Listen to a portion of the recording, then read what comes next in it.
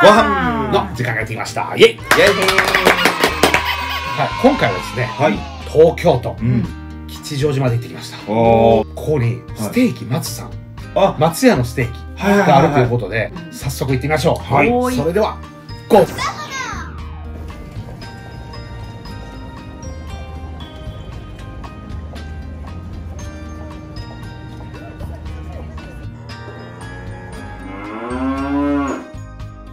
400g いきますまず、うん。外にこの券売機があって、うん。今日はこのね一番大きい肉っていうかおー。400g でいきましたよ。おー来たね。だ紙エプロンとおしぼりをこの学校の机の上に。ここなんだ。そうめっちゃ変わってる。えー、これまたいいね。いいよね、うんまあちょっとグラス取ってみました。あーちょっとまたこういうとこもおしゃれで綺麗に整頓されていいね。もうでねここもねうん。いきなりステーキと一緒で、うん。タレっていうかこのソースのうん。種類が結構多いんですよ、いいね。でいいのはこの岩塩があって、うん。あー。好きだもんね塩塩じゃなくて、うん。岩塩があるっていうのは本当にいいなと思いましたね、うん。はい。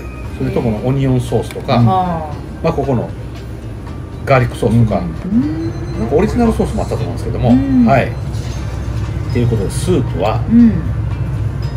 前行ったところこれじゃなかったですよね。そう、うん。なんかよそってたね自そう分で1回押すとその1杯分が出てくるんですよ。あおおこれいいっすよね。いいね。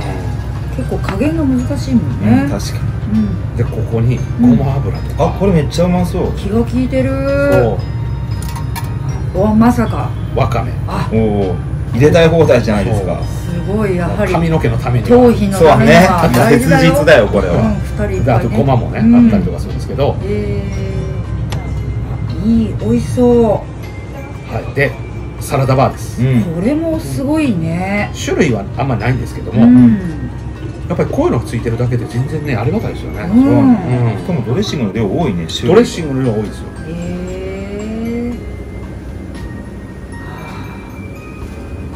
あいいサラダのセットだねこれは。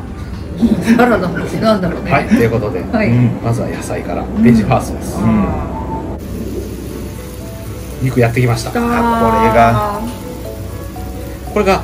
沖縄のやっぱりステーキとそっくりですね。確かに。俺そう思う、うん。ナプキンがね上から。来たはいいんですけどまずとりあえずそうだね。ってから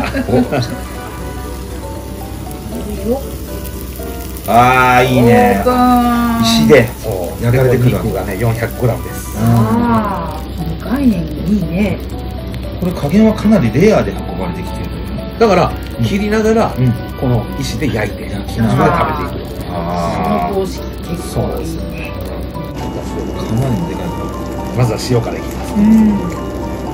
これねちょうどいいだけ出てくるんですよあ出過ぎず。出過ぎず。なるほあ本当だめいい感じでしょちゃめちゃうまそう。どうん。でこれにわさび。いいよね。それと柚子胡椒。柚子胡椒。最近ねわさびと塩にハマってるんですよ。うん。最近そうだね確かに。あこれ焼いて焼いてまずは塩だけで。すごくお店もなんかガラス張りで開放的でいいね。わさびつけました。肉柔らかい。えっとね噛み応えがある。あ本当。あのいや決して柔らかいっていう弾力なるなんかナノシート噛んでると全部柔らかそうに見えるから。わさびと塩つけて最高です。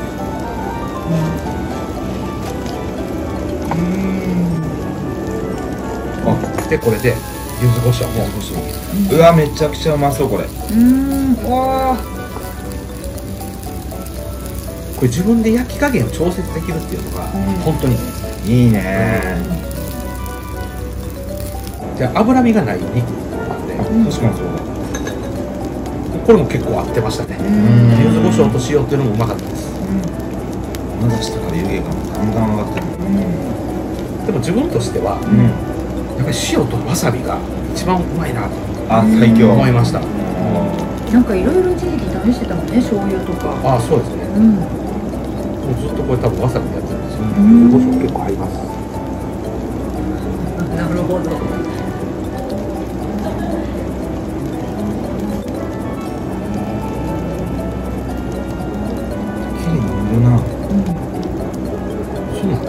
えか普通ちゃうんですか？そこ自分の中で関心ポイントだ。ハードル低いぞ。うんあ低いのか。でここからいろんなタレ。はいはい。うん。でソースを使っていこうかと思ってやってるんですけど、うん。まずはオリジナルソース、うん。うん。これ美味しそうだね。うん。ちょっと焼肉のタレっぽかったですね。あ少しこんな感じな。のうん、でガーリックソーあーこれうまそうだな。うん。ガーリック好きだからね。スガーリックね。でも多分思ってる味とは違うような気がします。あそうなんだ。うんまずはこれオリジナルソース。うん。オリジナルソースうまいですこれ多分オリジナルソースうまいですって言ってる。めっちゃ顔つき変わったもんね。気に入った顔だったね。塩が負けたかなおマジで？ってなかなか冷めないね。でガーリックソース。これねうん。思ったより味が薄いあそうなんだね、うん。さっぱり系。あこれ気になってた。ああすだちソースね。ソースソース。うーん私絶対これ最初からいくと思うな。これはい。少しだけつけてうんうん試してね。うん。で後からこれがオニオンソース。ううんん。あびっくりした。そうそう。振ってからいやあそういうね。うんすごい渋いなと思っちゃった。これで技を見るのかとでこれ醤油。はいはいはい。やっぱり醤油はうもう合わへんもんがないから。んそうだね万能。万能ですよね、うん。これまた楽しみですね。まずすだちからね、うん。これ実はね思った感じじゃ全くないです、あそうなの？うん、自分的には。あんまり酸味がない。ないです。ねへえオニオンもねうん。わりかしこうなんですか。ドロッとしたちょっと濃厚な感じで、うん。まあ美味しかったですね。で醤油うん。なんですけどうん。まあ醤油はもう普通に美味しいですね、うんもうオリジナルソースが一番うあまい。のねもう反応が分かりやすいよね。即座に出るからオリジナルソースが、うん。あの他と比べてもうん。圧倒的に一番うまいと思ったんですけど、うん。やっぱり塩とわさびわさびあ本当に。うん。捨て方がなる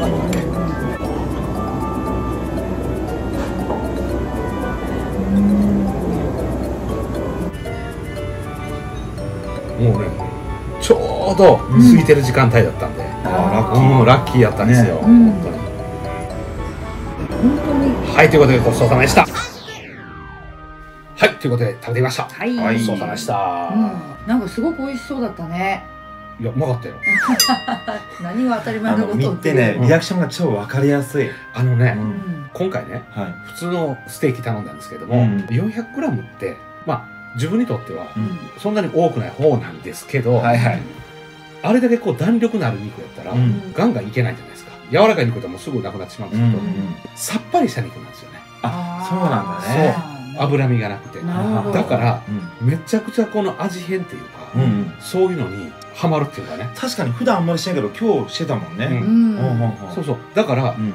例えば脂身の多い肉とかね。うん。ああいうのはもう塩とうん。本当わさびだけとかうん。だけでむちゃくちゃうまいと思うんですよ、うん。それだけで、うんだけどこういうこうなんですかさっぱりした肉って、うん。うんいろんなソースにつけてうん。なんかその相性っていうのがうん。すごいこうダイレクトに伝わるから、こ今回面白いなと思いましたね、あーなんか見ててもさそのソースごとのリアクションがうん。かなりはっきり分かれてうん。面白かった。もう圧倒的に自分はオリジナルソースがうまかった、ねうん。顔つき変わってたもんねあの瞬間。うん。いやなんで変わったかわかる？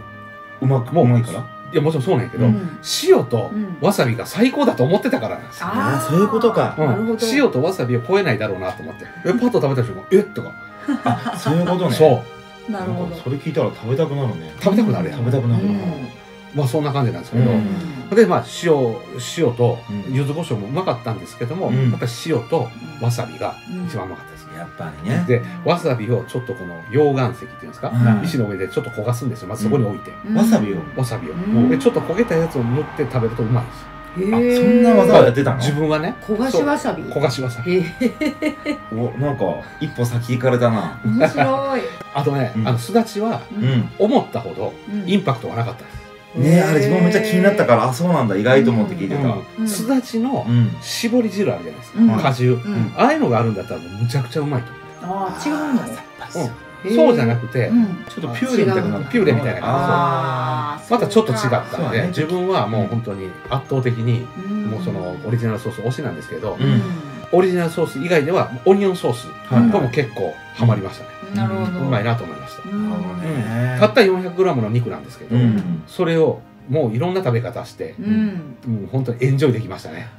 たった 400g ね。うん。なかなかすごいすごいですよ。うん常人から聞いたら 常人って。今一瞬聞き流したけど。常人でしょ。まあいいや。まあまあどっちまあかってこっちの方が常人じゃないじゃないですか、まあお互いうん。常人じゃないじゃないですか。いやはい。ああっぱれあっぱれ。はいということで、うん。前行ったのは、うん。三鷹のお店行ったでしょ、う今回は吉祥寺と。吉祥寺。あとなんかまだ他にも店舗があるらしいんでまた行ってみたいなと行きたい。思いました、うん行きたいと思いました。はい、ということでまた3人で行きましょう。行きましょう。はい。ということでここまでご視聴ありがとうございました。それではまた